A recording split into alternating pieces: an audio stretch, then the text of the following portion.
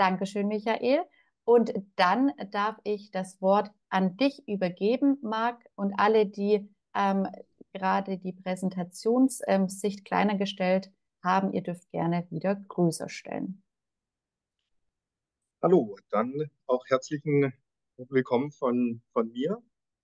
Ähm, schön, dass ihr heute euch Zeit nehmt für das Thema, wie sieht die Zukunft aus? Ähm, Alessandra, wie du schon sagtest, ein wahnsinnig wichtiges Thema, zwar auf mehreren Ebenen. Einmal auf einer gesellschaftlichen Ebene natürlich für Unternehmen ein wahnsinnig wichtiges Thema, aber auch für jeden Einzelnen von uns, der, der eine gewisse Orientierung sucht in einer sehr volatilen Zeit. Und ähm, wenn wir die Frage stellen, wie sieht die Zukunft aus, dann ist das natürlich stark verkürzt, weil es gibt nicht die Zukunft, sondern es gibt eigentlich die Zukunft, die wir uns vorstellen. Es gibt die Zukunft, die wir gestalten, die Zukunft, die wir, die wir machen. Natürlich gibt es viele äußere Einflussfaktoren, die wir auch nicht immer im, im Griff haben. Ähm, aber vielleicht ist es so ein bisschen wie, wie der Wetter, Wetterbericht. Wir, wir haben eine Prognose, die mehr oder minder akkurat ist. Ähm, sie ist akkurater, wenn sie für morgen stattfindet. Sie ist weniger akkurat, wenn sie in zwei Wochen stattfindet.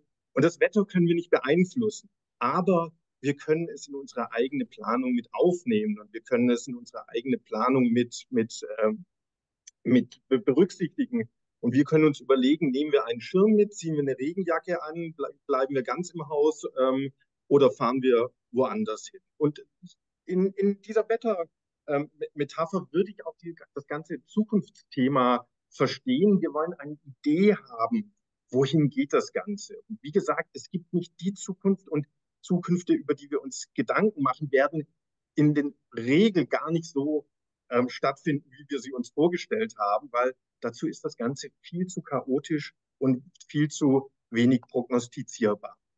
Ähm, wenn, wenn wir von Zukunft sprechen und ich würde gerne 70 Jahre Zukunftsforschung auf 30 Sekunden reduzieren. Ähm, wenn wir von Zukunft sprechen, würde ich gerne drei Kategorien einführen. Die erste Kategorie ist das Wahrscheinliche. Das ist das Naheliegende. Das ist das, was ähm, jeder von uns mehr oder minder gut prognostizieren kann. Also das ist keine Überraschung, wenn Mark Zuckerberg eine ähm, VR-Brille auf den Markt bringt, das Metaverse entwickelt, dass Unternehmen irgendwann Pressekonferenzen im Metaverse abhalten werden oder dass wir vielleicht mal einen Urlaub oder eine Auszeit im Metaverse ähm, äh, erleben werden. Das sind jetzt keine großen spekulativen Anstrengungen, die wir hier brauchen. Ähm, wenn man das ein bisschen, bisschen tiefer angehen möchte, auch ein bisschen wissenschaftlicher angehen äh, möchte, dann ist das das Feld der Extrapolation. Hier finden Trendanalysen statt. Das ist das Feld der, der Data Analytics. Hier gucken wir uns starke, aber auch schwache Signale an. Expertenmeinungen spielen hier eine Rolle, ähm, um die nahe Zukunft ähm, auszuloten. Das hat ein kleines Problem, nämlich wir sind auf Erfahrungen und auf Daten angewiesen. Und diese Erfahrungen und Daten, die werden uns irgendwann mal verlassen. Wir haben die einfach nicht mehr. Und jetzt fängt an, der Bereich des Möglichen sich zu öffnen. Ähm, ein spekulativer Raum, der hauptsächlich durch Szenarien und hauptsächlich durch Stories erkundet werden kann. Und das ist im Vergleich zu dem wahrscheinlichen ein eher kreativer Bereich, während der erste, der wahrscheinlich eher ein analytischer Bereich ist, sind wir hier eher im, im möglichen Bereich. Und interessanterweise ähm, im März 2023, ähm, im letzten Jahr, hat der CEO von IKEA gesagt, naja, bisher war unsere Finanzplanung so auf ungefähr ein Prozent immer sehr verlässlich und wir konnten ziemlich genau sagen, wie viel wir umsetzen, mit welchen Produkten, wie viel wir vorhalten müssen. Aber die, das, äh, das Turbulenzniveau, die, die, die, die, das Veränderung, die Veränderungsgeschwindigkeit ist mittlerweile so hoch, dass wir das gar nicht mehr können und dass wir die traditionelle Finanzplanung um eine Szenarioplanung ähm, ergänzen, um zu verstehen, was gibt es denn für unterschiedliche Möglichkeiten, an die wir gar nicht bisher gedacht haben. Und diesen Möglichkeitsraum, ähm, wenn man jetzt ein, einen Schritt weiter nach rechts geht, dieser Möglichkeitsraum, der wird natürlich von Science-Fiction-Autoren bis zum Unendlichen gedehnt. Wir sind da im Bereich des Undenkbaren. Und auch das hat in der Gesellschaft ähm, seinen Platz. Die ganzen Sicherheitsorganisationen, also die Militärs dieser Welt, laden regelmäßig Science-Fiction-Autoren ein, um zu schauen, zusammen mit den Science-Fiction-Autoren, was sind denn Bedrohungsszenarien, an die wir bisher überhaupt nicht gedacht haben. Und was könnte denn da auf uns zukommen? Und interessanterweise findet nächste Woche in Stuttgart, an der Uni Stuttgart, ein, ein Tag statt. Ähm, Applied Fiction heißt, Applied Fiction heißt dieser, diese Veranstaltung. Da wird unter anderem ein Vortrag stattfinden, in dem es darum geht, wie man mit Wahlen ähm, die Kommunikation mit Aliens einüben kann. Also was völlig absurd erscheint heute, aber vor 30 Jahren erschien das iPhone auch ziemlich absurd.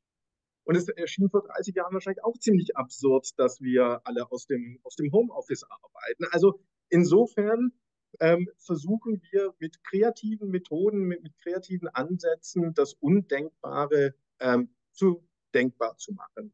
Und ähm, auch das eine, eine, eine, ganz alltägliche Erfahrung mit, mit unseren Kunden. Ich hatte mich kürzlich mit einem Kunden, SAP-Haus, unterhalten und gefragt, ja, wie plant ihr eigentlich? Und da war auch wieder die Aussage, naja, im besten Fall können wir ein Jahr vorausplanen, aber schon allein das fällt uns schwer und wir sind dankbar darüber, wenn wir neue Ansätze finden, wie wir auch in einen anderen Planungsmodus gehen.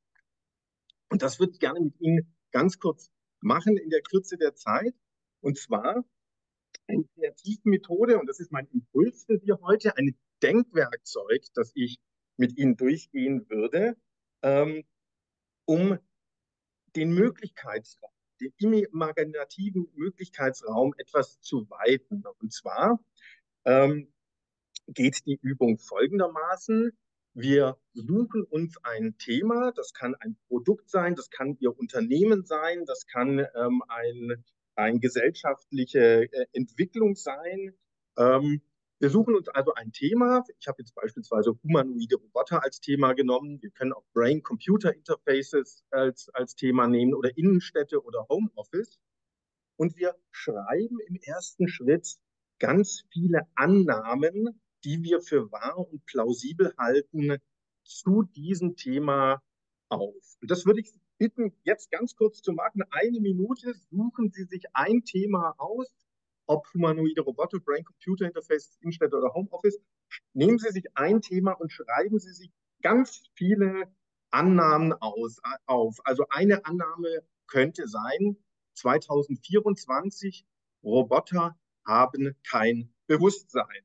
Das könnte eine Annahme für 2024 sein. Oder eine Annahme für das Thema humanoide Roboter ist, Roboter sind aus Carbon gebaut.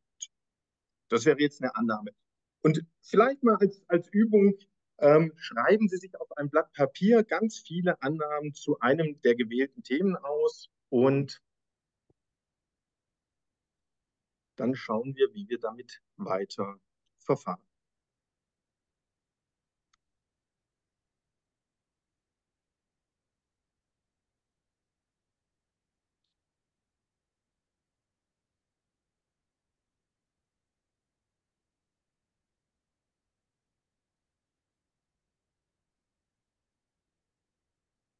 Okay, dann würde ich sagen, dürften so jetzt fünf, sechs Annahmen zu Ihrem Thema haben. Vielleicht sind es auch schon, schon zehn.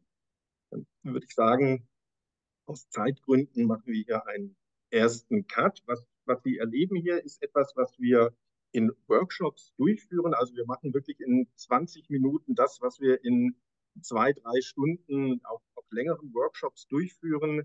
Die Kirsten Grauhahn, die äh, heute hier auch mit dabei ist, hat das schon erlebt. Wir haben das für die Regionalgruppe in München haben wir einen Workshop durchgeführt zusammen zu diesem Thema mit, diesen, mit diesem Ansatz und haben, wie ich finde, sehr, sehr spannende Ergebnisse zur GWÖ äh, rausbekommen. Ich würde nachher ein bisschen mehr dazu sagen, was wir rausbekommen haben. Kirsten, vielleicht magst du nachher auch noch deine Eindrücke ähm, erzählen, was, was, was du an Ergebnissen genommen hast.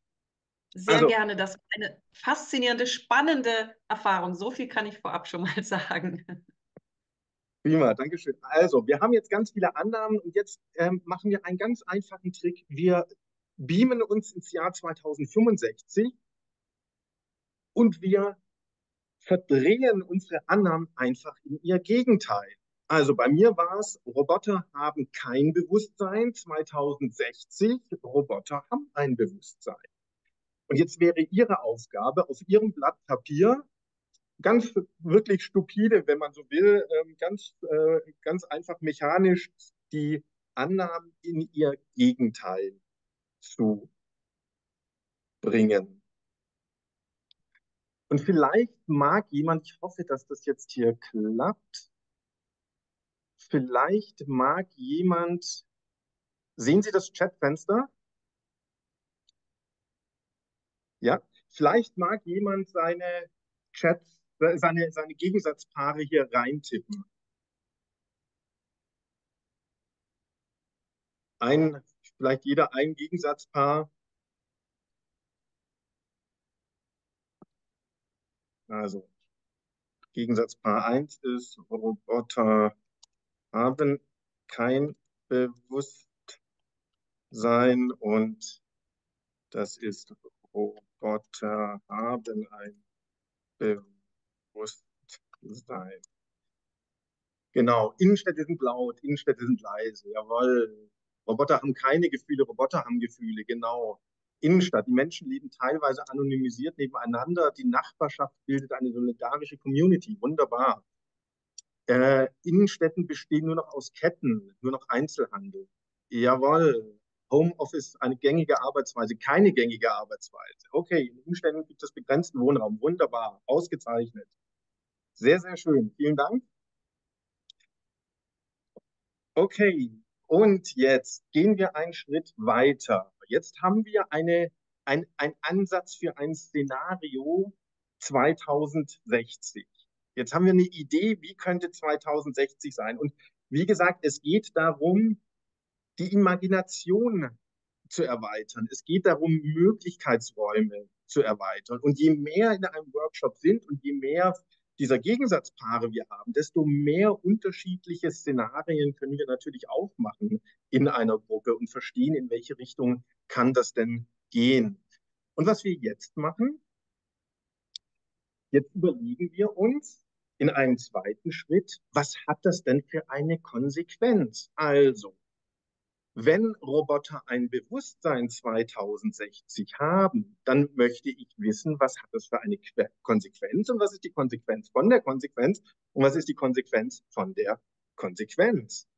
Das heißt also, wir suchen die Folge in der dritten Ordnung. Und das ist eine wunderbare Übung, nicht nur um Zukünfte zu entwickeln, sondern das ist auch eine wunderbare Übung, um zu, Produkte zu testen, um Entscheidungen zu testen, um langfristig und nachhaltig zu denken und dem Impuls des ersten Augenblickes etwas entgegenzusetzen, um zu verstehen, wie sehen denn eigentlich die langfristigen Folgen dessen aus, positiv und negativ. Also machen wir es mal am, am Beispiel des Roboters. Roboter haben ein Bewusstsein, dann haben Roboter eine Psyche. Wenn sie eine Psyche haben, dann haben sie womöglich Mental Health Issues.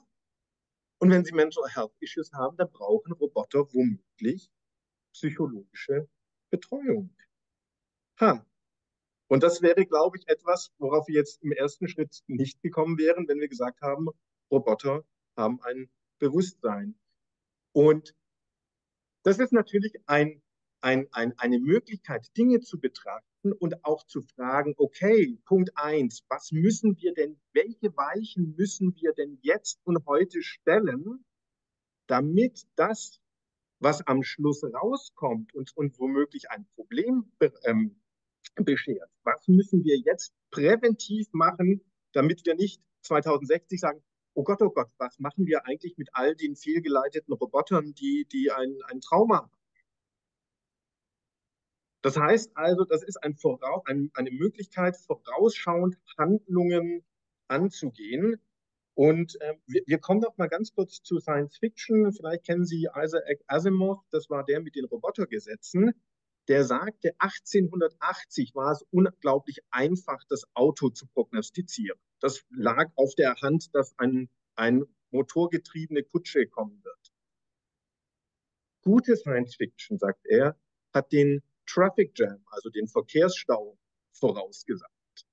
Das heißt also auch hier wieder durch fiktionale Überlegungen, und wir kommen gleich darauf, wie das funktionieren kann, durch fiktionale Überlegungen zu schauen, was könnten denn die Auswirkungen positiv oder negativ sein.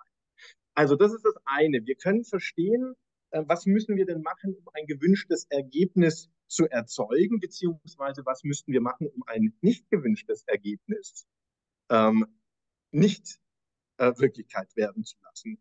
Das ist das eine, was ich wunderbar finde an dieser Übung. Das zweite finde ich, wenn wir solche verschiedenen Szenarien haben, dann gehen wir auch ganz anders mit einem ganz anderen Bewusstsein durch die Welt. Dann nehmen wir Signale plötzlich ganz anders wahr, weil wir haben verschiedene Zielbilder. Und jetzt kann ich Signale, die ich beispielsweise in der Zeitung lese oder ich höre, da gibt es ein Start-up, das hat sich um ähm, Roboterbewusstsein gekümmert. Jetzt bin ich plötzlich viel bewusster und sehe, aha, das könnte ja in die und die Richtung gehen. Das zweite und das dritte ist, es ist wirklich auch eine Möglichkeit zu überlegen, was killt uns morgen als Unternehmen? Oder ähm, ich bin selbstständig, was sind Dinge, die mich morgen aus der Bahn werfen könnten? Also ein Threatcasting, ähm, wenn man so will. Okay, und das würde ich jetzt gerne mit Ihnen kurz durchexerzieren. Ähm, wir haben den Chat, genau. Wirklich nur in drei Minuten ganz, ganz rudimentär. Überlegen Sie sich in Ihrem Gegensatzpaar, also Sie haben ein Gegensatzpaar, Sie haben die Annahme 2024 heute, dann haben Sie das gespiegelt in 2060. Jetzt nehmen Sie die Annahme von 2060 und überlegen sich, was ist die Folge der Folge der Folge. Also was könnte die Folge sein von, wir nehmen mal, in Innenstädten gibt es unbegrenzten Wohnraum. Lassen Sie uns mal das als, als Beispiel nehmen. Was könnte die Folge dieser, dieses Szenarios sein, dieser Tatsache, dass es 2060 unbegrenzten Wohnraum gibt?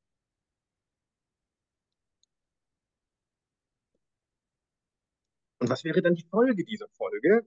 Und was wäre dann die Folge dieser Folge dieser Folge? Städte breiten sich aus in der Fläche, genau. Sehr gut. Und wir ahnen schon, was das bedeutet. Das bedeutet wahrscheinlich Landfraß. Das bedeutet Konkurrenz zwischen städtischer Bebauung und Agrarflächen, wie wir sie ja jetzt schon haben. Alle haben einen bezahlbaren Wohnraum, genau. Alte Bauten werden saniert, genau. Neue gebaut, hohe Ressourcennutzung, genau.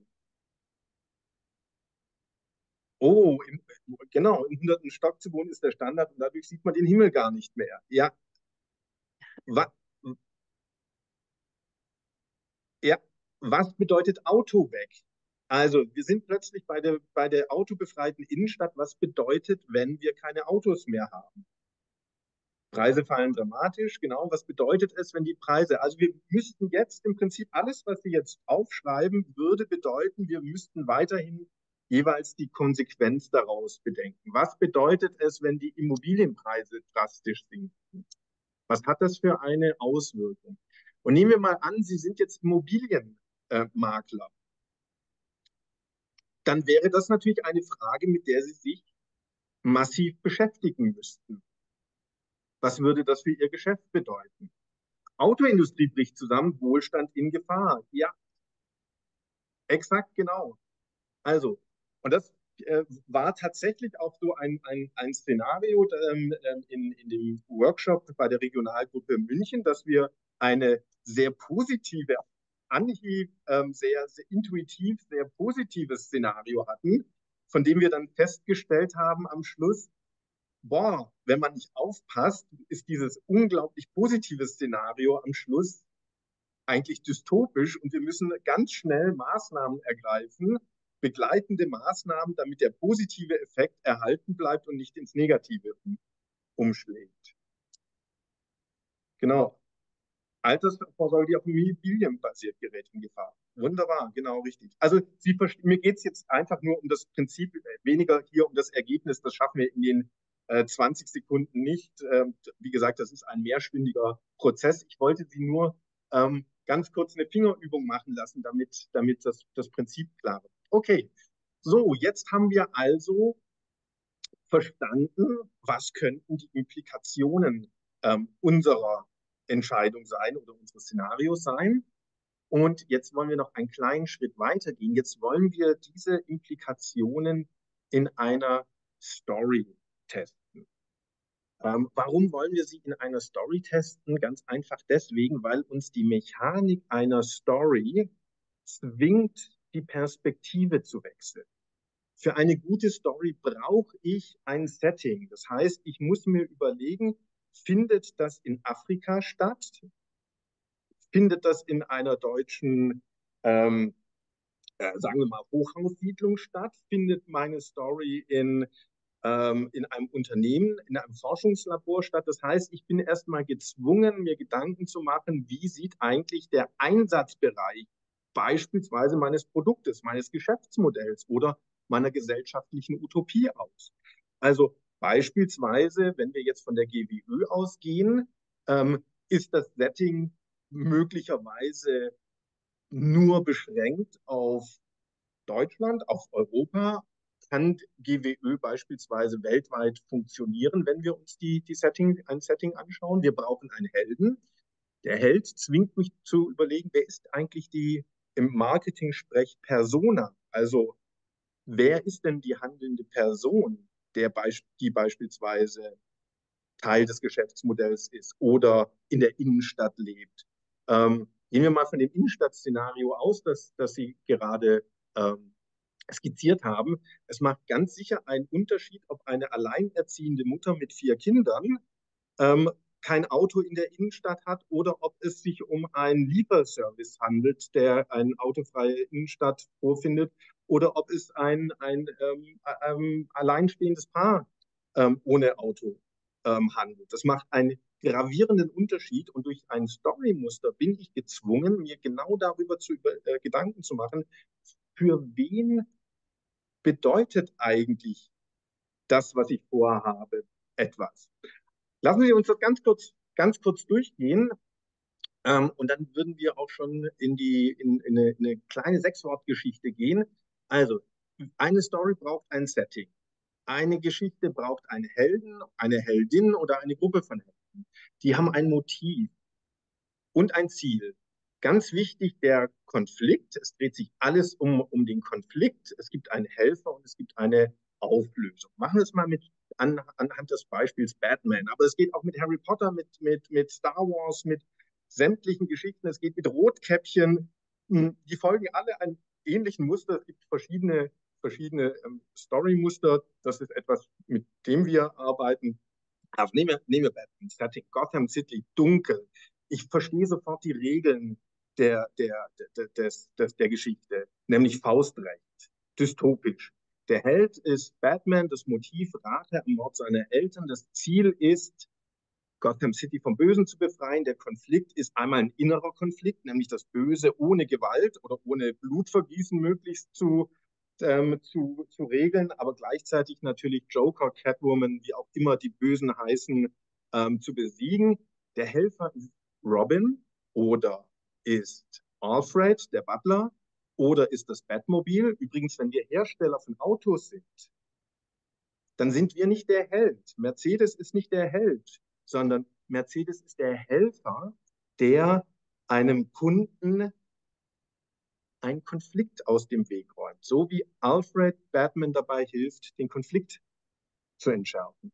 Und am Schluss gibt es eine Auflösung, die ist entweder gut oder nicht gut. Mit Aristoteles gesprochen, es ist entweder eine Komödie oder eine Tragödie. Es ist eine Utopie oder eine Dystopie. Und ähm, dieses Muster, wie gesagt, hilft uns dabei, genau zu überlegen, wie soll denn unsere Idee beispielsweise einer autofreien Innenstadt, wie kann die in der Realität umgesetzt werden anhand eines ganz konkreten Beispiels. Und das ist, glaube ich, das Wichtige, das konkrete Beispiel. Es gibt, ein, es gibt eine Methode, die nennt sich Science Fiction Prototyping. Ein Intel Manager, der äh, ein wunderbares Buch dazu geschrieben hat, der gesagt hat, wir testen unsere Produkte erstmal im Rahmen einer Geschichte. Ist sehr günstig, ähm, kann nicht viel schiefgehen, kann nicht viel kaputt gehen. Und wir haben sehr schnell ein Verständnis darüber, was dieses Produkt zu leisten imstande ist, weil wir brauchen einen Konflikt und unser Produkt muss einen Konflikt lösen. Und wir haben öfters die Situation, dass wir in, in Workshops sind und mit Kunden uns unterhalten und wir lassen uns das neue Produkt, die Innovation erzählen und haben irgendwie so ein vages Gefühl, irgendwas stimmt nicht. Und wenn wir dann in den Story-Denk-Modus übertreten, dann stellen wir fest, der Konflikt des Kunden ist nicht groß genug, dass dieses Produkt relevant sein könnte. Und wir hatten dann die Situation, dass wir darüber geredet, dass wir dann den, den, die Perspektive gewechselt haben und gefragt, okay, aber könnte das für einen anderen Kunden das Produkt, der vielleicht einen viel größeren Konflikt hat, viel größeres Problem hat, könnte das nicht bedeuten, dass womöglich dieses Produkt für eine ganz andere Zielgruppe relevant ist? Und haben dann festgestellt, dass genau das der Fall ist und dass die ursprüngliche Idee nicht getragen hat, aber mit dem Perspektivwechsel auf eine andere Zielgruppe, weil die einen anderen Konflikt hat, der viel relevanter, viel wichtiger ist und als Helfer das Unternehmen da einspringen konnte, ähm, das Ganze eine andere Dynamik bekommen hat. Und was ich jetzt gerne mit Ihnen machen würde, wäre ähm, eine ganz kurze Story, die Sechs-Wort-Geschichte ähm, zu entwickeln. Also, es geht darum, Ihr Szenario mit Ihren Implikationen, die Sie entwickelt haben und Ihren Implikationen, Ihren Konsequenzen ist ganz viel Konflikt, ganz viel Konflikt drin, eine Sechswortgeschichte zu verfassen. Sechswortgeschichte, die berühmteste Sechswortgeschichte ist von äh, Ernest Hemingway, in der die gesamte Tragik einer Familie ähm, in sechs Worten zusammengefasst ist. Baby Shoes for sale, never worn.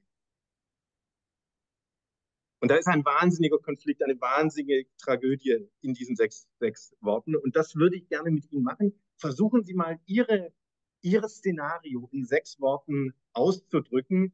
Und am besten geht es nach dieser Formel Problem, Lösung, Ergebnis. Problem, Lösung, Ergebnis. Zwei Worte Problem, zwei Worte Lösung, zwei Worte Ergebnis.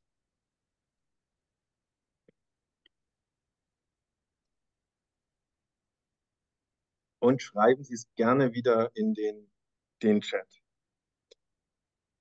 Und würden wir in einer Workshop-Situation sein, würden wir das natürlich jetzt nicht auf eine Sechs-Wort-Geschichte reduzieren, sondern wir würden da eine längere Zeit in, in Anspruch nehmen. Ähm, Kirsten, ich glaube, wir hatten eine halbe Stunde, auch das ist noch relativ wenig um die Gedanken zu, zu sortieren, um eine Geschichte draus zu machen, die exemplarisch für das Szenario steht, das wir 2060 uns vorgestellt haben.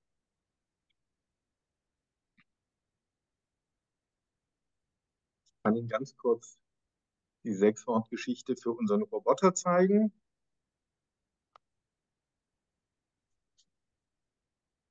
Die würde lauten, Chip vernebelt, täglich traurig, Robodog, wann?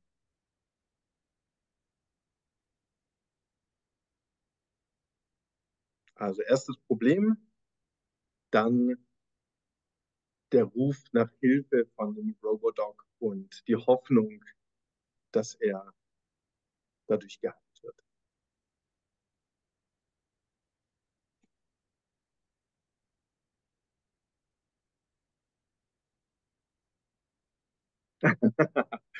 Roboter weinen, Menschen hinterfragen ihre Menschlichkeit. Oh, sehr gut. Roboter liebt Demente und begeht Selbstmord. Wow. Ui. Wenig Zeit, aber Homeoffice ist langweilig. Okay? Roboter bewusst wie Menschen braucht keinen. Okay?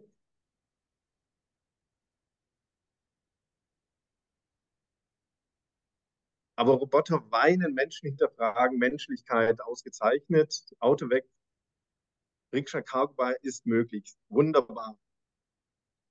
Sehr fein, ja. Okay, und ich sehe bei ähm, äh, Alexandra Meyer, ich sehe sofort ein Szenario vor mir. Ich habe sofort, ich sehe sofort, ich sehe auch bei Ihnen ein Rad im, im Hintergrund. Inso, insofern ist das natürlich naheliegend, sehr schön. Ähm, ich, ich, ich sehe, ich habe sofort ein Gefühl dafür. Ich sehe sofort, die Innenstadt ist voller Rikschas, voller Cargo-Bikes. Ähm, äh, es gibt vielleicht nicht, wie es heute ist, eine Spur für Radfahrer, sondern es gibt eine Spur für Autofahrer extra. Ähm, vielleicht gibt es auch, und, und jetzt, jetzt kämen wir natürlich in ein Szenario, in ein, ein größeres Szenario, das wir ausarbeiten müssten. Das würde ja womöglich auch bedeuten, dass es ähm, Polizei ähm, mit Elektroantrieb gibt. Die alle anderen haben keinen Elektroantrieb. Fahr Polizeifahrräder haben Elektroantrieb. Oder wir bräuchten Cargo-Bikes für Mediziner, damit die relativ schnell ähm, an, ihre, ähm, an ihre Stelle kommen, wo Hilfe benötigt ist. Das heißt, jetzt müssten wir tatsächlich in so eine Art World-Building einsteigen, um dieses Bild, dieses Szenario wesentlich stärker auszuarbeiten. Was wir davor machen würden, davor würden wir die Plausibilität prüfen. Also gehen wir mal von weg, Auto weg, Rikscha, Cargo Bikes her, ist möglich. Jetzt würden wir tatsächlich Statistiken ähm, uns, uns anschauen. Jetzt würden wir gucken, wie sieht das in anderen Ländern aus. Jetzt würden wir gucken, wie ist die Bereitschaft von ähm, Bürgern in Stuttgart, München, Hamburg da mitzumachen. Das heißt, wir würden jetzt überlegen, die Plausibilität prüfen dann würden wir die Wünschenswertigkeit prüfen und dann würden wir in das Szenario-Building geben und dann haben wir ein, ein Zielbild vor Augen und mit diesem Zielbild würden wir arbeiten. Dann würden wir ins Backcasting gehen. Dann würden wir überlegen, okay, was müssen wir 2050 erreicht haben, damit wir 2060 dieses Szenario haben? Was müssen wir 2045 erreicht haben? 2040? Das heißt, wir würden dann rückwärts planen, um einen Fahrplan zu haben, damit wir dieses Ziel, diese Vision erreichen. Aber diese Vision ist unglaublich wichtig, weil wir müssen wissen, wohin wollen wir steuern, was ist das Bild, das wir haben? Und deshalb auch die Story, weil ich habe so viele Visionen gelesen oder so viele Szenarien gelesen und die sind so blutleer, die haben keine Kraft, die haben nichts, was, was von dem ich sagen würde, wow. Aber wenn ich so eine Story lese, dann verstehe ich, ha, da ist Emotion dahinter, da ist Kraft dahinter, da ist ein Bild dahinter, das ich attraktiv finde und für das es sich auch zu kämpfen lohnt. Und das in Kürze wäre der Impuls, den ich gerne für Sie mitgegeben habe und hoffe, dass Sie damit etwas anfangen.